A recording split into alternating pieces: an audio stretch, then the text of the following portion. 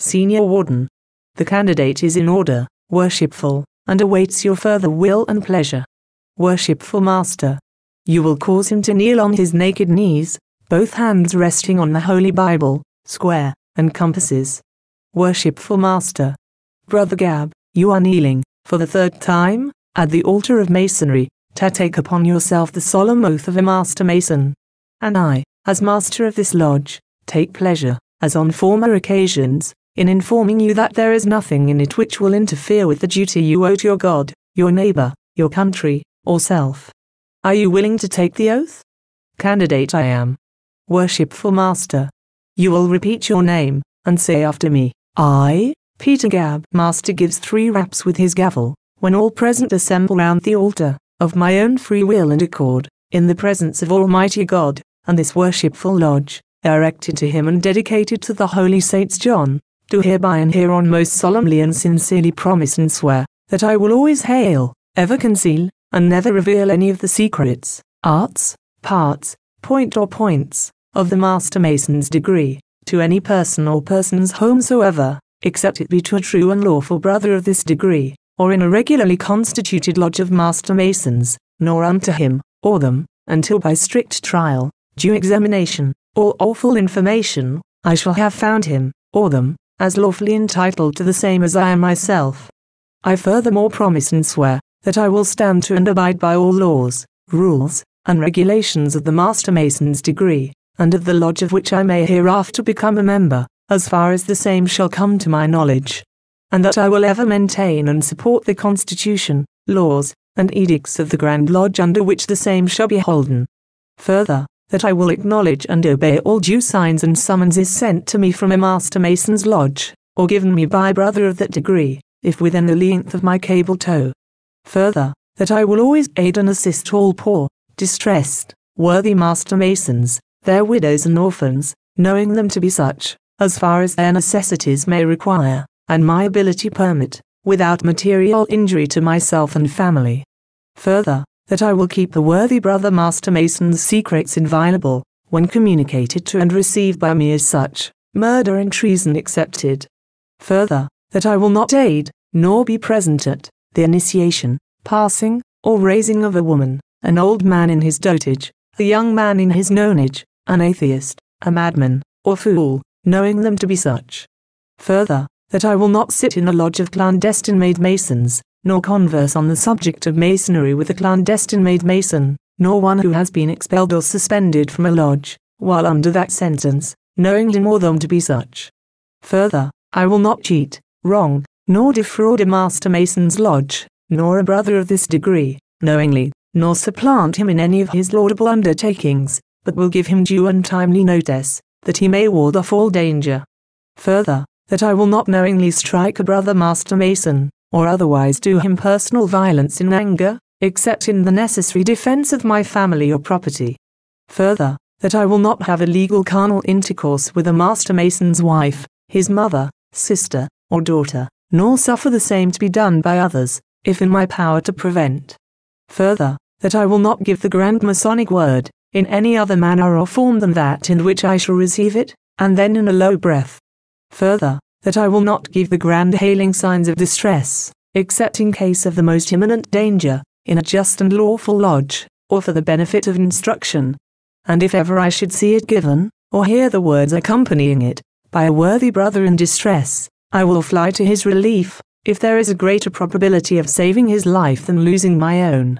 All this I most solemnly, sincerely promise and swear, with a firm and steady resolution to perform the same, without any hesitation, mental reservation, or secret evasion of mind whatever, binding myself, under no less penalty than that of having my body severed in two, my bowels taken from thence and burned to ashes, the ashes scattered before the four winds of heaven, that no more remembrance might be had of so vile and wicked a wretch as I would be, should I ever, knowingly, violate this my master mason's obligation.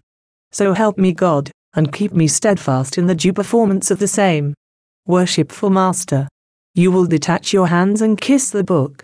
In your present condition, what do you most desire? Candidate, prompted by conductor. Further light in masonry. Worshipful Master, let him receive further light. Conductor here takes off the hoodwink and removes the cable tow, and all around the altar place their hands in the position of the due guard of a master mason. The worshipful master gives one rap with his gavel, when all the brethren retire to their seats, leaving at the altar the master, conductor, and candidate. Worshipful master. Brother Gab, on receiving further light, you perceive more than you have heretofore.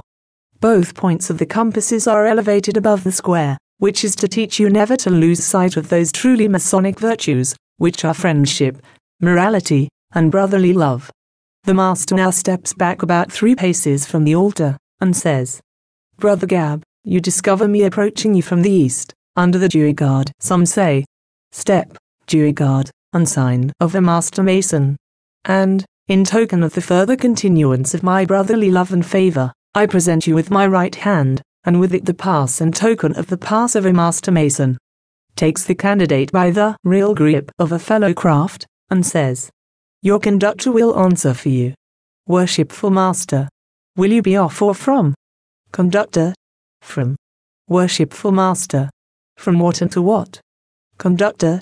From the real grip of a fellow craft to the pass grip of a master mason. Worshipful Master. Pass. Conductor here instructs candidate to pass his thumb from the second joint to space beyond, which is the second space.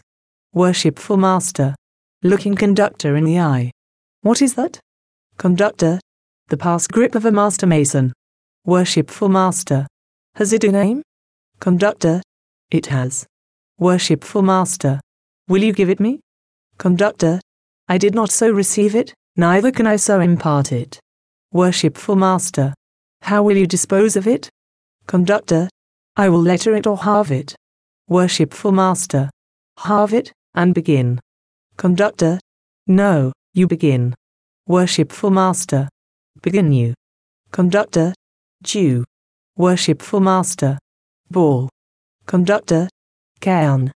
Pronounced by the conductor Tubal Cain. Worshipful Master. Lifting the candidate up. You will arise and salute the junior and senior wardens as an obligated master mason. Here lodges differ in their mode of work. Some only pass the candidate around the lodge once, and as he passes the junior and senior wardens he gives the master's sign. The master should instruct the candidate, and he generally does, how to make the signs before he gets up from the altar, after taking the obligation. The following appears to be the proper way. After the candidate gets up from the altar, the conductor should lead him from the altar direct to the junior warden's station in the south, and give three raps on the floor with his rod, the junior warden responding by three raps with his gavel. Junior warden, who comes here? Conductor. Brother Gab, an obligated master mason. Junior warden. How shall I know him to be such? Conductor. By the pass and token of the pass of a master mason. Junior warden. Offering his hand to candidate. Advance the token. They take hold of each other's hands by the real grip of a fellow craft. Junior warden. Will you be off, or from? Conductor. For candidate. From. Junior Warden. From what, and to what? Conductor. From the real grip of a fellow craft to the pass grip of a master mason. Junior Warden. Pass. They now pass to the pass grip of a master mason. Junior Warden. What is that? Conductor. The pass grip of a master mason. Junior Warden. Has it a name? Conductor. It has. Junior Warden. Will you give it me? Conductor. I did not so receive it, Neither can I so impart it. Junior Warden. How will you dispose of it? Conductor. I will letter or halve it. Junior Warden. Halve it, and begin. Conductor. No, you begin. Junior Warden. Begin you. Conductor. Jew. Junior Warden. Ball. Conductor. Cain. Pronounced by Conductor Tubal Cain. Junior Warden. The token is right and the pass is right. You will pass on to the senior warden's station in the west for his examination. They then pass on to this officer's station, where the same questions and answers are repeated as at the junior warden's station, and he, the senior warden, suffers them to pass on to the worshipful master's station in the east. As they approach the worshipful master's station, he says, Worshipful master, brother senior deacon, You will reconduct the candidate to the senior warden in the west, with my orders that you teach him how to wear his apron as a master mason. The conductor then turns about to the senior warden in the west, and says, Brother senior warden, it is the orders of the worshipful master that you teach this candidate how to wear his apron as a master mason.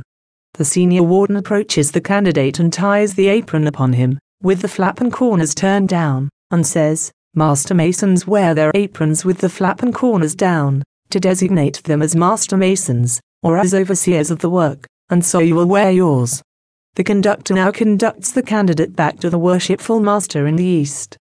Join us next week for the working tools of the master mason.